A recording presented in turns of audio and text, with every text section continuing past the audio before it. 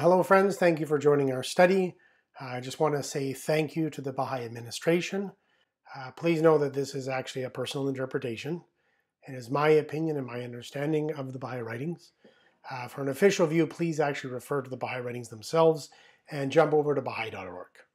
Uh, in the description below, you're going to find an MP3 version of this talk, uh, a PDF with all the quotes that are actually being used, and as well timestamps of the different sections of the talk so you can always jump ahead or get back to where you were before. And if for any reason you would like to be alerted of upcoming videos, uh, please click subscribe. Our next section, do non-Baha'is go to heaven? So our first quote um, is from Abdu'l-Baha in Propagation of Universal Peace. But when I consider this calamity in another respect, I am consoled by the realization that the worlds of God are infinite, that though they were deprived of this existence, they have other opportunities in the life beyond, even as Christ has said, In my Father's house are many mansions. They were called away from the temporary and transferred to the eternal. They abandoned this material existence and entered the portals of the spiritual world. Foregoing the pleasures and comforts of the earthly, they now partake of a joy and happiness far more abiding and real, for they have hastened to the kingdom of God. The mercy of God is infinite, and it is our duty to remember these departed souls in our prayers and supplications, that they may draw nearer and nearer to the source itself. This analogy expresses the relation of the temporal world to the life hereafter. The transition of the soul of man from darkness and uncertainty to the light and reality of the eternal kingdom. At first, it is very difficult to welcome death, but after attaining its new condition, the soul is grateful, for it has been released from the bondage of the limited to enjoy the liberties of the unlimited. It has been freed from a world of sorrow, grief, and trials, to live in a world of unending bliss and joy. The phenomenal and physical have been abandoned in order that it may attain the opportunities of the ideal and spiritual.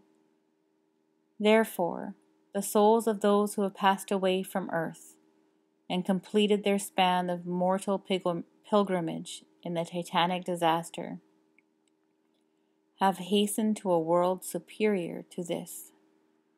They have soared away from these conditions of darkness and dim vision into the realm of light. These are the only considerations which can comfort and console those whom they have left behind.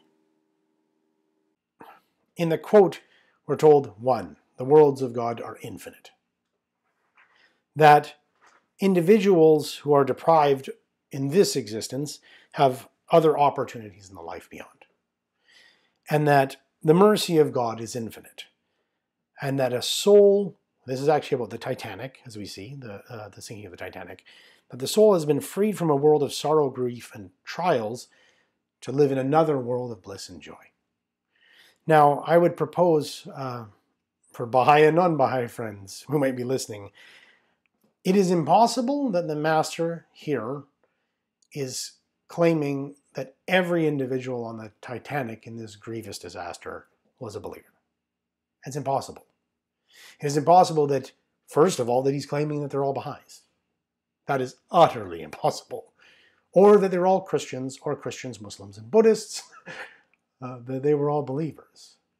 But he's saying that these individuals have moved from a realm of confinement and constriction, and to understand that such souls have actually been released from the cage of this body.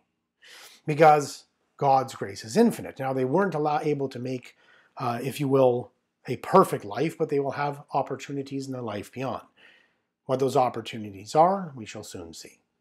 The challenge here is because it sounds as if these individuals, some of whom we have to assume have not recognized the manifestation of God, are not necessarily fulfilling their, if you will, their the purpose of their existence. Uh, given the, the definitions of heaven and hell, how could this be? But oftentimes heaven is used, I would propose, in reference to the next world, the world after this, the afterlife, the great beyond. The other times it's often used, and oftentimes the term paradise is used in such cases, that is actually expressing the state or condition within our being. In a sense, we all go to par- we all go to heaven, but we don't all go to paradise. So can we make up for lost opportunities? I think we've already seen one instance where we're told that. Uh, this is from Shoghi Effendi. He feels that many of the perplexities that arise in your mind could be dissipated if you always conceived of the teachings as one great whole with many facets. Truth may, in covering different subjects, appear to be contradictory, and yet it is all one if you carry the thought through to the end. For instance, the statement on life after death and the condition of believers and non believers. You might say that a wonderful believer is like a diamond blazing in the sun an unawakened soul like one in a dark room. But we must couple this concept with the other part of the teachings that God's mercy exceeds his justice, and that soul can progress in the world beyond. The unillumined soul can become brilliant. There is a principle here in this passage that actually is, I almost think, universally relevant in our study of the Baha'i faith, as well as our study of the Baha'i faith and its relationship, say, to Buddhism or Christianity or Islam or Judaism, because he says truth may, in covering different subjects, appear to be contradictory. And yet it is all one if you carry the thought uh, through to the end. It doesn't mean, you know, truth can appear to be contradictory, so don't worry about it. it's actually saying that we should be carrying this through to the end and really, like really exploring it. And he then gives this example of the afterlife. Um, and he says that a wonderful believer is like a diamond, the one brother on the street, uh, like a blazing in the sun. An un, unawakened soul is like one in a dark room. Um, they're both diamonds, one blazing like the sun, one in a dark room, a mirror facing the sun or in the same position and flipping and reflecting nothing. Um, they both have the same capacity. And then he says that the soul can progress in the world. The unillumined soul can become brilliant. Okay? Unillumined soul can become brilliant. And there are many divergent realities and concepts related to the great beyond, generally. And really, we have to be, if you will, take these differing positions that we find within our own writings and others and try to carry them through to create a picture. That's why at the beginning I called this a conversation starter. And at this point, we know that there is a heaven, there is a hell, there is a judgment. And at the same time, it seems that those who have not become illumined can do in the next world. It is even possible that the conditions of those who have died in sin and unbelief may become changed. That is to say, they may become the object of pardon through the bounty of God, not through his justice. For bounty is giving without desert, and justice is giving what is deserved. As we have power to pray for these souls here, so likewise we shall possess the same power in the other world, which is the kingdom of God. Are not all the people in that world the creatures of God? Therefore, in that world also they can make progress. As here they can receive light by their supplication, there also they can plead for forgiveness and receive light through entreaties and supplications. Thus, as souls in this world, through the help of the supplications, the entreaties, and the prayers of the holy ones, can acquire development, so it is the same after death. Through their own prayers and supplications, they can also progress more especially when they are the object of the intercession of the holy manifestations. So, once again, we see that he says that those who have died in sin and unbelief may become changed. That in that world they can also make progress. Both quotes from the actual text. They can actually do so by to plead for forgiveness, receive light through their supplications, and that souls in the help in this world uh, through the help of such entreaties and prayers, can develop so is it the same after death.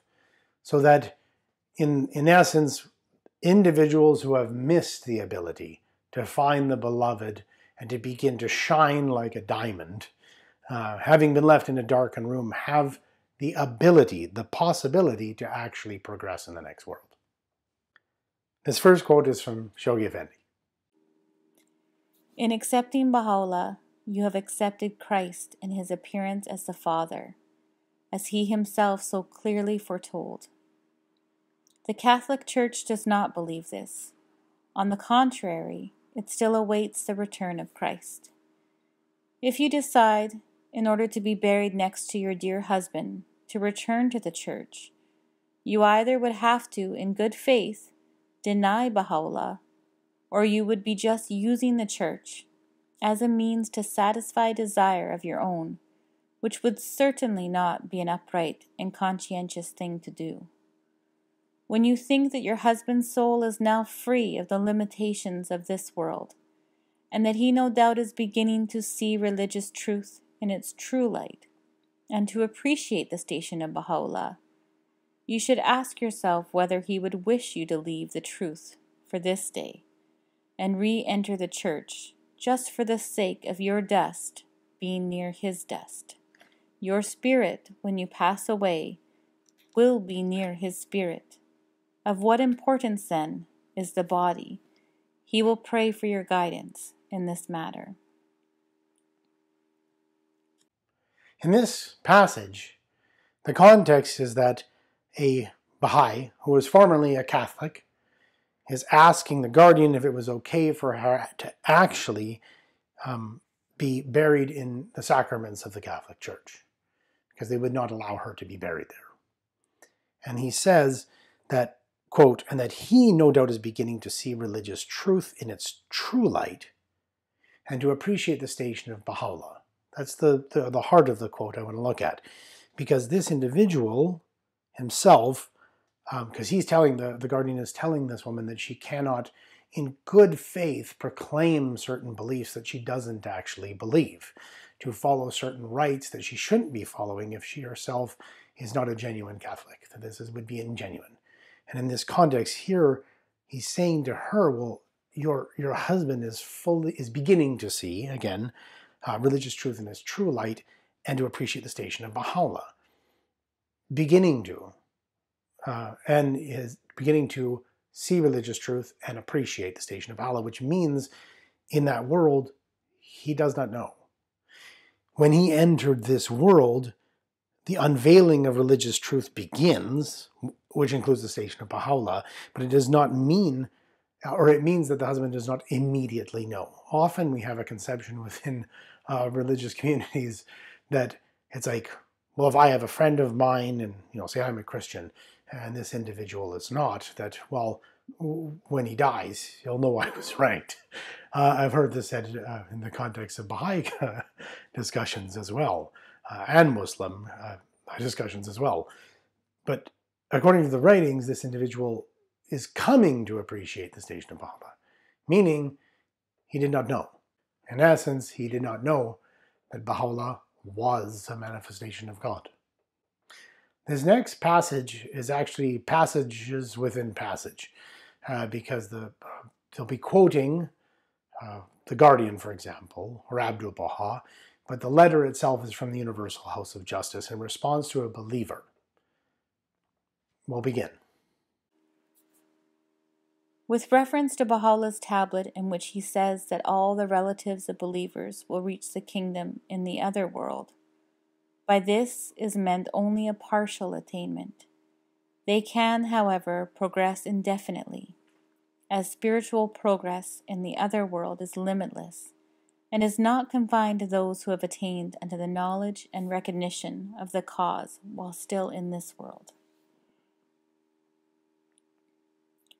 For example, the following extract from a letter dated March 17, 1940, written on behalf of the guardian to a believer whose father had recently passed away, provides the following statement The guardian wishes me to hasten to convey to you the expression of his deepest sympathy in this grievous loss which you have come to sustain.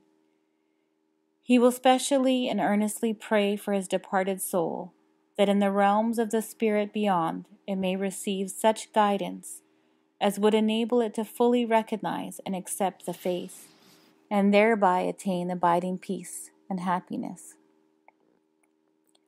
Shoghi Effendi, in a letter dated May 22, 1935, written on his behalf to an individual believer, makes the following statement Concerning your question whether a soul can receive knowledge of the truth in the world beyond, such a knowledge is surely possible, and it is a sign of the loving mercy of the Almighty.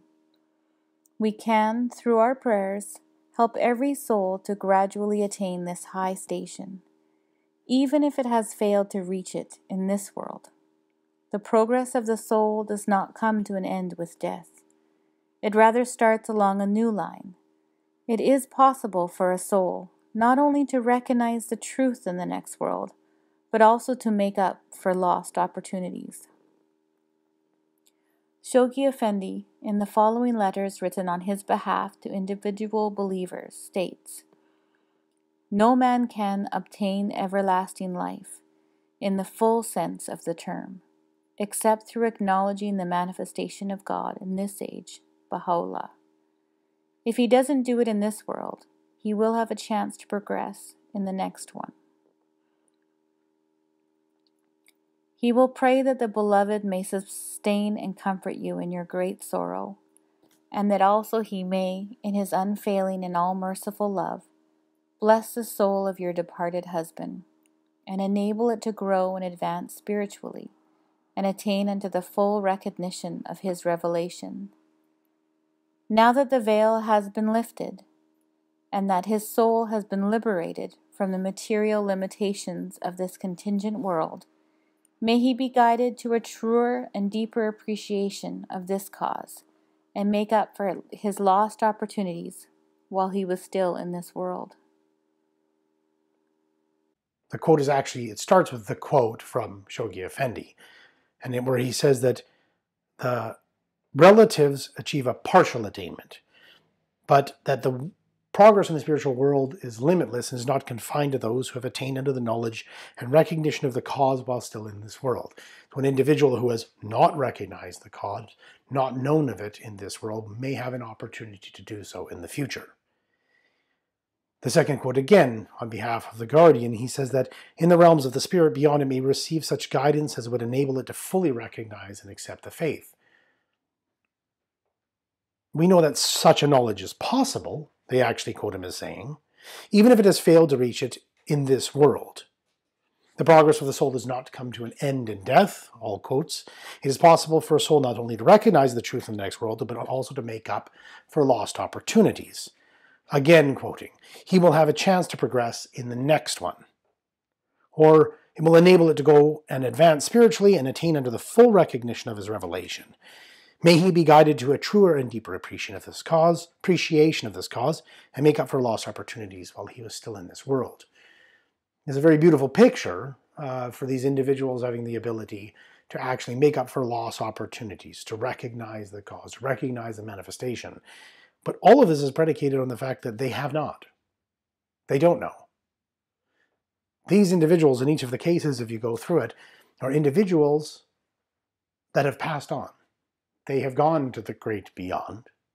And they themselves, in the great beyond, do not know this cause was true.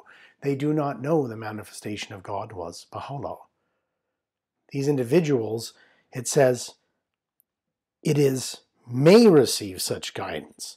Such knowledge is surely possible. It is possible for a soul to recognize truth in the next world possible for them to make up for lost opportunities. We'll have a chance to progress. If you listen to the quotes I already quoted, in each case, um, it's that you can have a full, you can come to a full recognition of the revelation, and oh, may he be guided. May he be guided to a truer and deeper appreciation of the cause, and if so, make up for lost opportunities.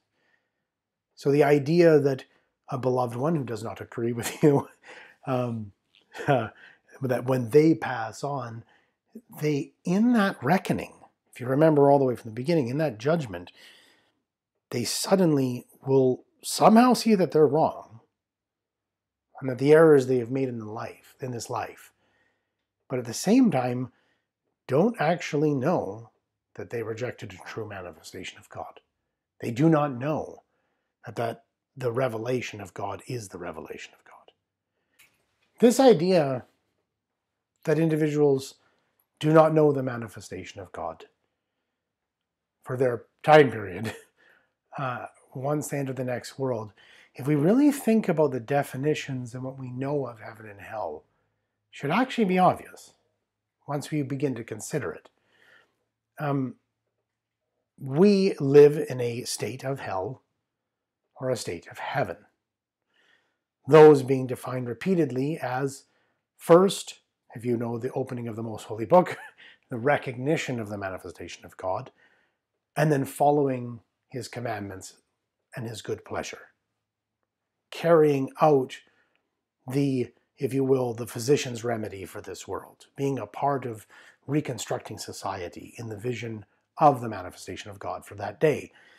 So if I am in this world and I am in heaven or paradise, to make it clear, where do I go? Paradise, when I pass on. Because I move from a state of knowing the manifestation of God in this period into a state of knowing the manifestation of God in this day. Well, of course, then the, the individual who is actually in hell in this world, thereby defined as reunion, as if you will, sorry, the lack of reunion with the manifestation of God, the lack of the knowledge of the very purpose, the teleology, the telos of that individual, and not acting, right? Again, the second condition, at the opening of the most holy book, and not fulfilling that which is for the best and greatest good of humankind in this day, moves from that position of hell a lack of knowledge, and working with that knowledge to embody his teachings to a place in the next world of a lack of knowledge and not embodying his teachings. We move from paradise to paradise, from fire to fire. We don't move from paradise to fire or from fire to paradise.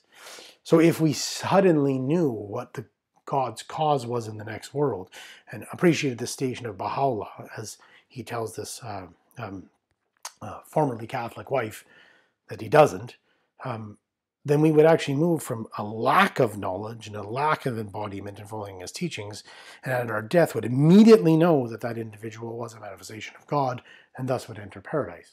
But that's not what we're told. It's, it's hell to hell, paradise to paradise. Um, the following two quick quotes are uh, written on behalf of the Guardian. November 15th, 1940.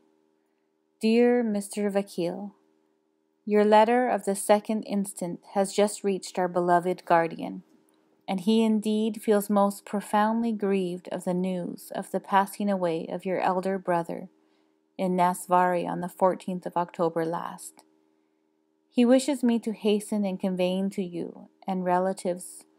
Heartfelt condolences on this truly heavy loss you have so cruelly sustained, and specially to assure you of his special prayers on behalf of the deceased, that in the realms beyond he may be guided to the recognition and acceptance of the cause, and thereby progress and advance spiritually. May the beloved deal mercifully with his soul and enable it to attain to highest spiritual destiny. And may He also protect His bereaved family and impart abiding solace to their sorrow laden hearts. So at the end of the section, we see that once again, that in the realms beyond, he may be guided to a recognition and acceptance of the cause, and thereby progress and advance spiritually. And in the second quote, that in the realms beyond she may have the joy of recognizing Baha'u'llah. In each of these cases, the guardian is dictating his wishes that he will say prayers that the past, the loved ones who have passed on, the loved ones of these Baha'is, may have the opportunity to be guided to the recognition of his cause and understand the station of Baha'u'llah, a theme we will uh, delve into more shortly. This next section I call the Endless Worlds of God. The simple question is, how many are there? This first quote comes from Baha'u'llah. You may be sure his ardent prayers will be offered for the success of your Baha'i work, and he will also pray for your father and for the soul of your dear mother, that in this world beyond she may have the joy of recognizing Baha'u'llah. Um, so, this very quick quote states what? That the creation of God embraces worlds besides this world and creatures apart from this creatures. Um, and there are things ordained in some of these worlds that we could never even contemplate. And I think this, uh, well, my some may take this to mean worlds in our, say, example, our multiverse or extended universe. Uh, there are things that cannot be contemplated, and we will see in the next quote that we're discussing spiritual worlds. Verily I say, the creation of God embraceth worlds besides this world, and creatures apart from these creatures. In each of these worlds he hath ordained things which none can search except himself, the all searching, the all wise. So here he says there are worlds holy and spiritually glorious that will be unveiled to our eyes. And it's and in here he talks about his sustaining grace. He says, and to obtain a portion of their sustaining grace, to get the benefits of these worlds, their joys and their sustaining grace. And the question is, and we'll return to it, what is the sustaining grace in those other worlds of God, really endless worlds of God, that we're supposed to actually derive?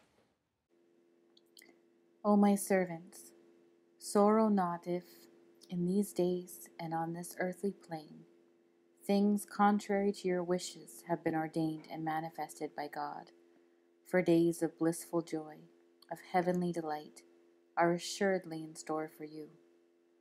Worlds, holy and spiritually glorious, will be unveiled to your eyes. You are destined by Him in this world and hereafter to partake of their benefits, to share in their joys, and to obtain a portion of their sustaining grace. To each and every one of them you will, no doubt, attain. So the worlds are countless in number and infinite in range. So, according to Baha'u'llah, the cosmos is countless vertically, countless worlds, and each infinite within its range, or infinite basically horizontally and vertically. And yet, Abdu'l Baha says the following as to thy question concerning the worlds of God, know thou of a truth that the worlds of God are countless in their number and infinite in their range.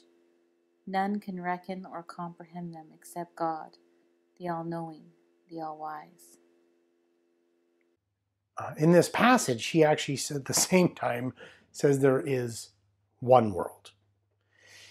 But this is actually, if we actually look, it says that the creation of God, the first quote we looked at, the creation of God embraceth worlds besides this world. So, in one sense, there is one world, one creation, with infinite worlds, or countless worlds, infinite in range within them. And we've looked at this theme previously um, as to where are heaven and hell, but also where are the worlds of God. Um, the following quote is from Abdu'l Baha O thou seeker after truth! The world of the kingdom is one world. The only difference is that spring returneth over and over again, and setteth up a great new commotion throughout all created things. So, once more, we see this theme of uh, stacked kingdoms within the world we inhabit as a representation, an analogy for an understanding of the many worlds of God. Here we have the example once again of the mineral, a stone. And on top of a stone is growing some moss. Or, you know what I mean? And a little plant. And on that plant is an insect. And a frog is eating that insect, right? And a cat's chasing the frog. We actually have all these different, if you will, cascading even degrees within kingdoms, right? The moss and the flower, the insect, the frog, and the cat. And we see that they're all interacting, and I myself could be a biologist studying the feeding habits of this frog. All of these worlds and kingdoms, if you will, can actually coexist at once. And he gives them examples of kingdoms. He gives the he actually speaks of them as worlds, states of being and states of relative existence that we can occupy. But that in each of these, the ability to truly discern fully the reality of the kingdom above us is cut off. There's a block. We're unable to do so. I remember seeing once it was a it was a picture of uh, actually a marine biologist, right? Uh, literally bending down to actually touch a whale. And there was a fish in the background jumping, and on the back of the whale there was like a barnacle. And it was fascinating to me because I could see in this one picture all these different kingdoms actually uh, interacting at once, all existing, many of them living, but how different the nature of the livingness, if you will, or the state of being that they are occupying. Thank you.